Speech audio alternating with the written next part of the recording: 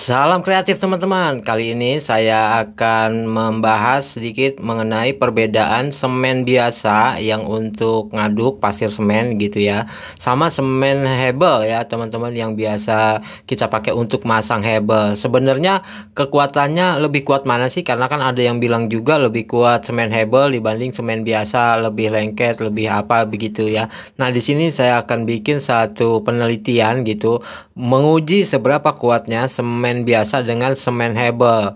Jadi setelah ini diharapkan kita jadi tahu dan bijak memilih semen apa yang kira-kira cocok untuk peruntukan-peruntukan tertentu yang kita butuhin ya teman-teman.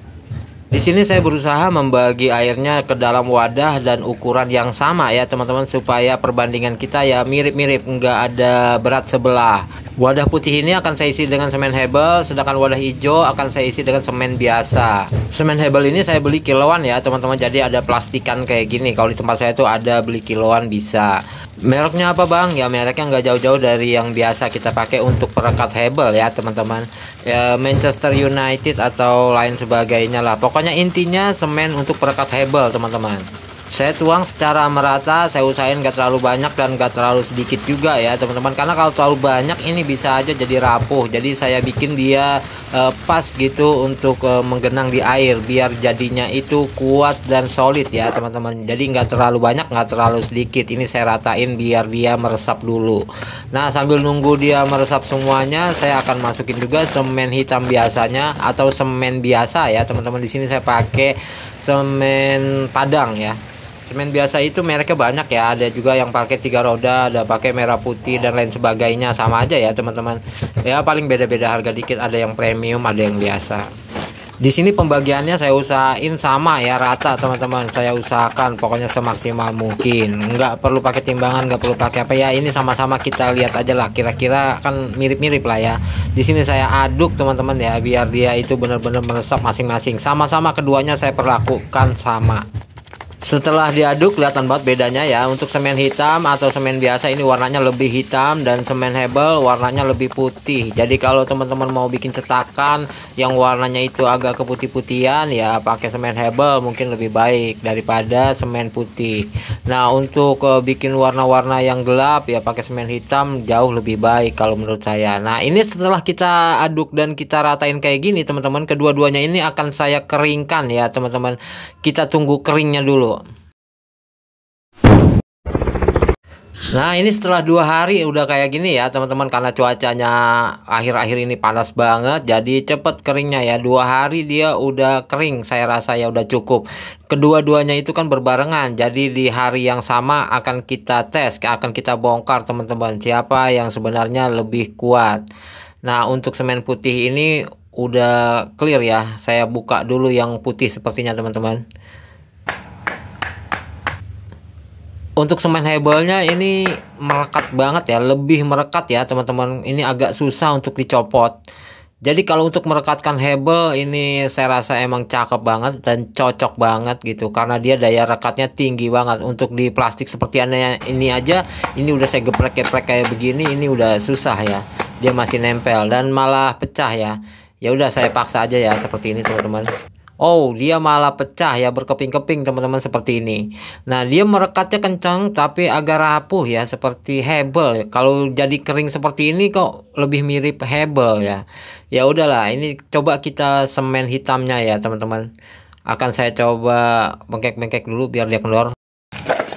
Wow, kalau semen hitam gampang banget seperti ini cetakannya, tapi dia lebih solid dan lebih keras sepertinya ya. Suaranya beda, celing-celing-celing seperti itu ya. Teman-teman perhatiin suaranya nanti ya. Oke, untuk yang semen hebelnya ini akan saya coba potong teman-teman seperti apa sih gitu kerasnya. Saya akan pakai wadah ini, kemudian pakai gergaji besi aja biasa ya teman-teman biar lebih mudah ya. Wah ini gampang banget ya kepotong teman-teman dan dia bentuknya itu seperti serpihan-serpihan serbuk serbuk-serbuk gitu ya. Kayak gini ya teman-teman. Ini lebih mirip ke Hebel ya cetakan Hebel gitu. Mungkin dia senyawa dengan Hebelnya sendiri ya teman-teman. Jadi lemnya dengan bata ko atau bata Hebelnya itu mirip-mirip bahannya ya. Jadi kayak gini dia agak sedikit ya berkapur seperti Hebel ya. Nggak solid banget gitu dan agak mudah. Mungkin ini baru dua hari ya belum satu minggu atau tujuh hari ya teman-teman. Tapi kita udah bisa prediksi lah ini kekuatannya segini ya untuk uh, semen Hebelnya itu sendiri. Nah sekarang sekarang bagaimana dengan semen hitamnya? Akan saya coba potong. Suaranya sih solid banget. Suaranya itu celing-celing banget ya. Kelihatan dia keras lebih keras ya dari Hebel. Oh Hebel ini mudah banget patah teman-teman. Suaranya juga agak mendem. Kelihatan dia seperti peredam. Kalau semen hitam ini mantulin suara dia teman-teman. Coba kita potong seperti apa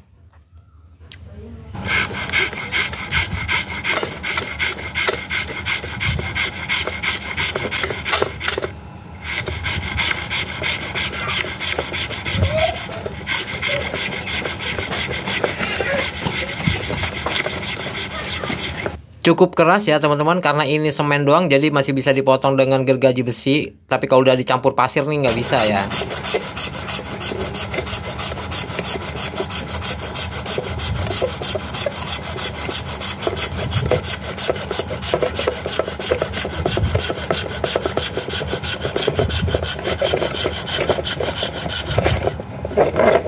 lumayan keras dan solid ya teman-teman. Suaranya juga menggema dia nggak meredam suara. Baliknya juga sama. Masih solid banget beda banget sama semen hebel. Lebih gampang dipotong seperti hebelnya sendiri seperti bata hebelnya. Mirip hebel ya teman-teman. Mirip ya. Jadi semen hebel itu dengan hebelnya mirip kalau untuk semen biasa ini lebih kayak membatu sepertinya teman-teman.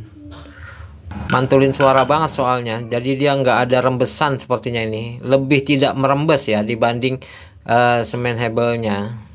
Saya langsung pecahin coba teman-teman. Iya hasilnya seperti ini ya teman-teman. Jadi dia pecahannya pun e, rata gitu seperti kaca ya. Kelihatan dia seperti batu teman-teman.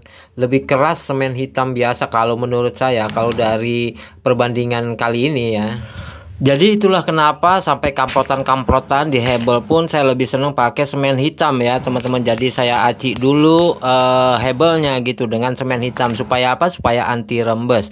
Kalau pakai semen Hebelnya sendiri kita pakai buat acian kamprotan itu akan memperbesar kemungkinan dia akan retak-retak dan rembes. Tapi kalau untuk merekatkan Hebel lebih cocok pakai semen Hebel karena dia senyawa ya mirip-mirip.